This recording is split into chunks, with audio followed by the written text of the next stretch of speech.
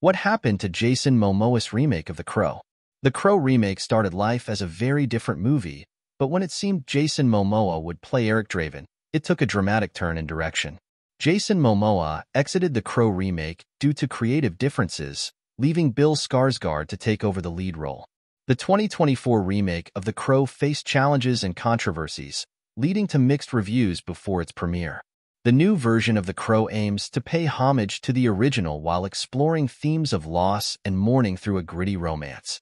As The Crow remake soars into theaters, fans of the series wonder what happened to Jason Momoa. Over the years, audiences were treated to sneak peeks and overheard rumors about what was in development concerning the controversial remake of The Crow. However, after teases about famed Game of Thrones and Aquaman actor Jason Momoa as the leading role, many quickly noticed that The Crow remake looked very different from what they expected. While the plot of The Crow remake now flutters about social media feeds, the story of what happened behind the scenes remains a point of interest.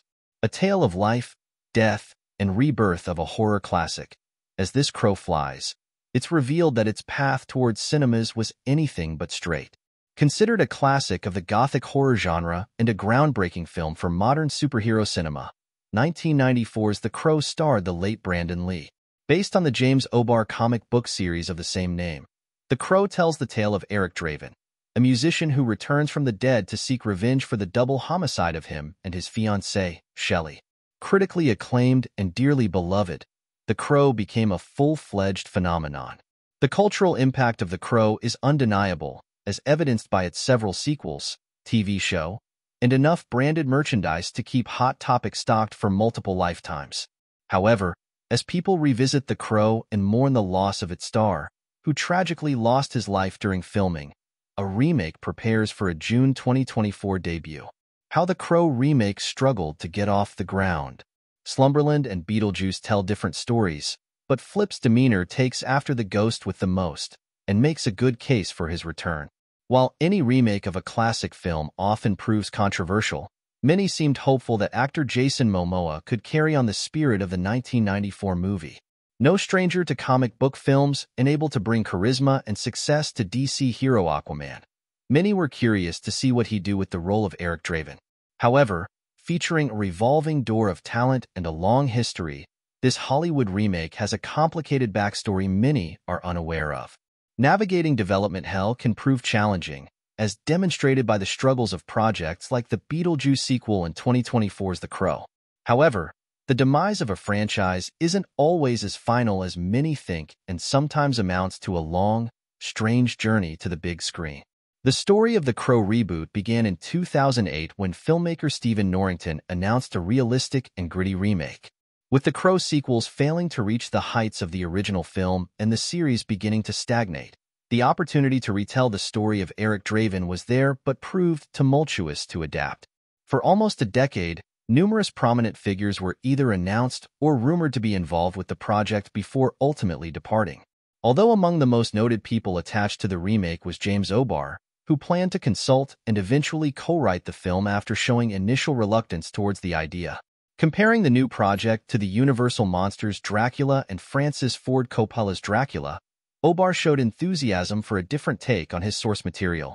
However, the bankruptcy of Studio Relativity Media would temporarily stall the project, leading it to be resurrected under the title of The Crow Reborn as production shifted to Highland Film Group and Electric Shadow. While countless names like Loki's Tom Hiddleston, Guardian of the Galaxy's Bradley Cooper, True Blood's Alexander Skarsgård, and even Luke Evans of Dracula Untold fame were all cast as Eric Draven, none garnered more excitement than Jason Momoa. By 2016, Reports circulated that director Corin Hardy and Momoa had begun collaborating on the project, with filming set to commence in 2017. With visible progress and test footage showcasing Momoa's dedication to the role, The Crow Reborn appeared destined for success. However, just a month before the planned production, The Crow Reborn seemed dead on arrival. Jason Momoa and Corin Hardy departed from the project, with the latter citing creative differences with the rights holder. Meanwhile, Jason Momoa reflected on Instagram how much The Crow meant to him, how playing the role of Eric Draven was a dream come true, but the stars had not aligned the way he liked. Ultimately, the exit of The Crow Reborn's driving forces marked a disappointing conclusion to a once promising venture, but it wouldn't signify the end of the Crow's saga. What happened after Jason Momoa left? Juan Carlos Fresnadillo and Javier Gutierrez were also signed on to direct the 2020 for remake of The Crow at various stages of development. The Fast and Furious series will have a mammoth feud take place soon, but coincidentally, two actors almost got connected way before this film, after surviving numerous cancellations. Casting changes and fleeting directorship, skepticism loomed over the Crow's potential return, particularly with Jason Momoa pursuing other projects. However, like countless other Hollywood movie reboots, remakes, and sequels, there was a sense that the show had to go on. Upon the exit of Jason Momoa, Corin Hardy, and any previous project contributors, it became evident that the Crow didn't simply resurrect after their departure. It evolved due to Hardy's creative differences. The film had to adapt to embody a new vision and the individuals endeavoring to revive Eric Draven's character from the grave. Unsurprisingly, the direction isn't the only thing that had changed as details unraveled before the crows intended. Audiences and the movie found new life. Development picked up in 2020, determined to deliver the horror remake long after the project's announcement and as the majority of the past sequels had faded into obscurity.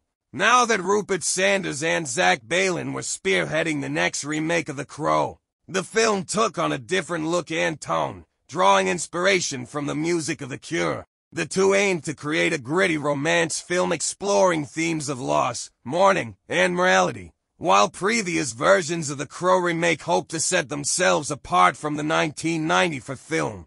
Sanders and Baylin sought to pay homage to it, viewing the 2024 adaptation of The Crow as both a successor to the original film and a tribute to Brandon Lee. The movie undoubtedly had a hard act to follow with some pretty big ambitions to chase, especially when it came to casting. After Jason Momoa surrendered the role, and his brother Alexander had been previously in talks for it, famed horror actor Bill Skarsgård became cast as the violent undead vigilante.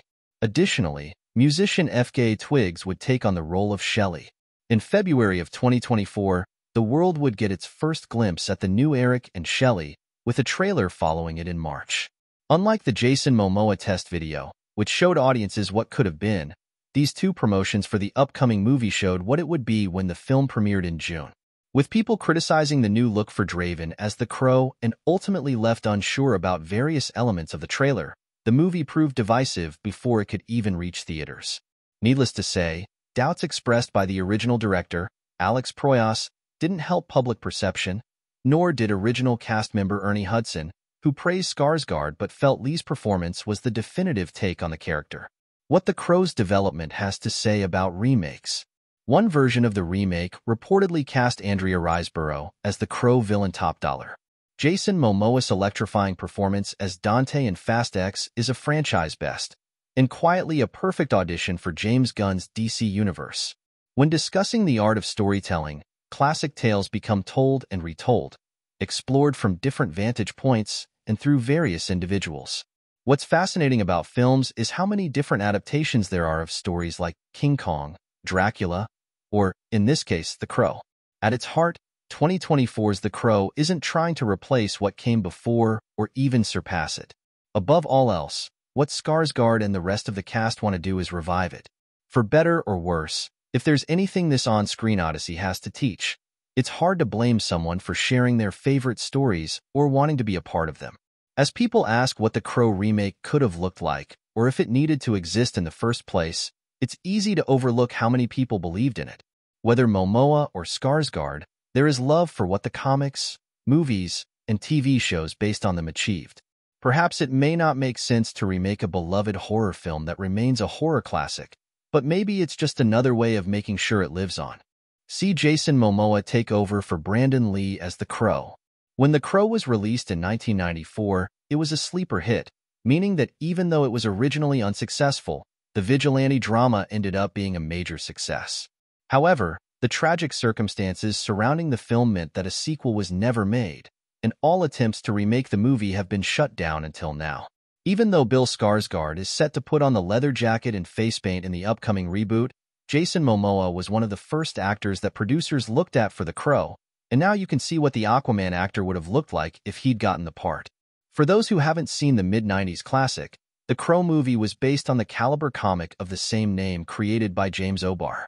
The Crow is a super being that brings tortured souls back from the dead long enough for them to enact revenge upon their killers using the Crow's supernatural powers.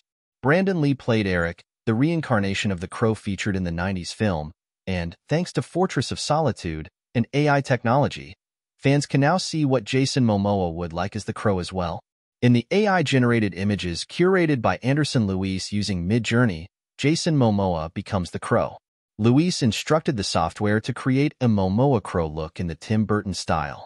Although Burton wasn't involved with the original The Crow, the film was released a couple of years after Burton's popular Batman flicks, and the production design borrowed heavily from the auteur style, featuring gothic overtones and inspiration from German Expressionism in the feature. In all of the images, the AI preferred to showcase Jason Momoa as the crow caught in the rain, soaking the Hawaiian actor's long locks, though his makeup somehow seems to stay intact. The DC actor looks menacing as he glares at someone off camera, and one can only imagine the type of damage he's about to inflict upon his chosen victim. In most pictures, Momoa is wearing the classic black clothes of the crow, although, in one image, the actor's shirt didn't render properly, and neither did the makeup, depicting a shirtless Momoa sneering at the rain instead of the murderous vigilante. Jason Momoa was one of the first actors that producers looked at for the Crow remake, and while the part eventually went to Bill Skarsgård instead, Momoa made it all the way to screen tests. Below, you can see the test footage of what Jason Momoa actually looked like as the Crow, and it's incredible. While many have pointed out that Momoa is quite a bit bigger than Lee and Skarsgård, and how the typically lean the Crow is usually portrayed, the most important aspect of The Crow is the makeup, and Momoa is completely rocking the look. In addition to Jason Momoa, Bradley Cooper, Luke Evans, and Jack Huston were all cast as Eric, the Crow, at some point during production, with Skarsgård being the one to permanently book the gig. Rupert Sanders, Snow White, and The Huntsman has signed on to direct the Crow remake with a budget of $50 million, roughly what the original $23 million 1994 budget would be worth today. Currently, there is no release date set for the remake, though the scenes were shot last year, and IMDb marks the film is currently in post-production.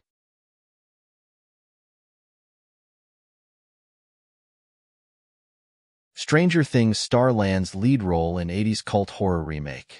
Stranger Things' Jamie Campbell Bower will play a lead role in the remake of the cult horror Witchboard movie series. Stranger Things star Jamie Campbell Bower is gearing up to star in a remake of the 80s cult horror film series Witchboard.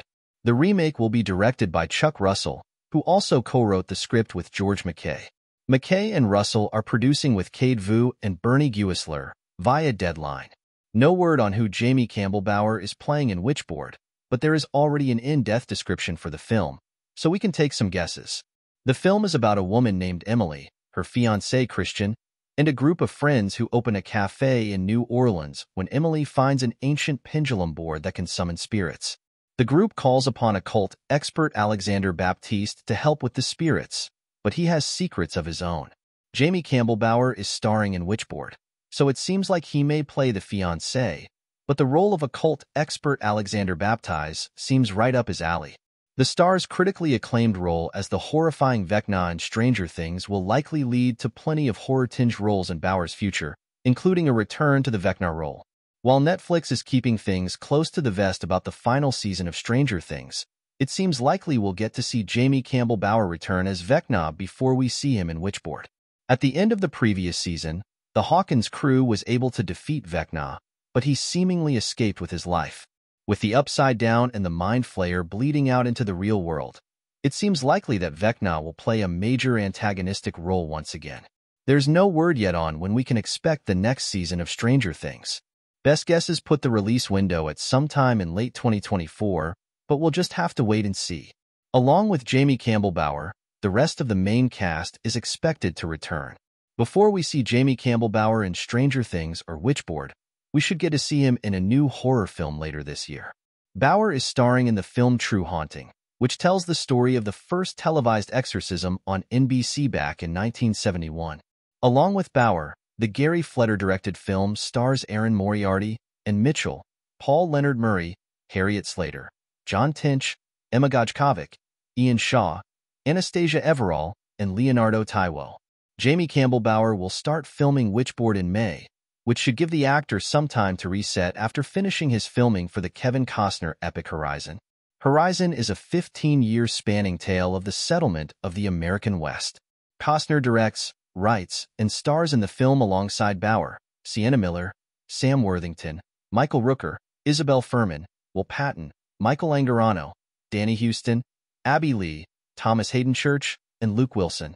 There's no word on when we can expect to see Jamie Campbell Bower in Witchboard or any of his other projects for that matter.